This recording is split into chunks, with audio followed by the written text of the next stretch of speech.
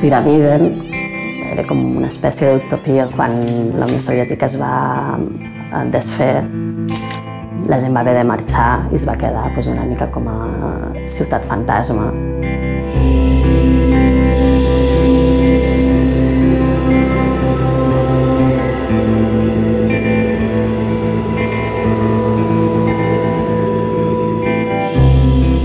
Faig retrat i m'agrada la gent i m'agrada mm, fotografiar gent. Si tu mires els meus retrats, tot és molt estètic i els colors acaben composant.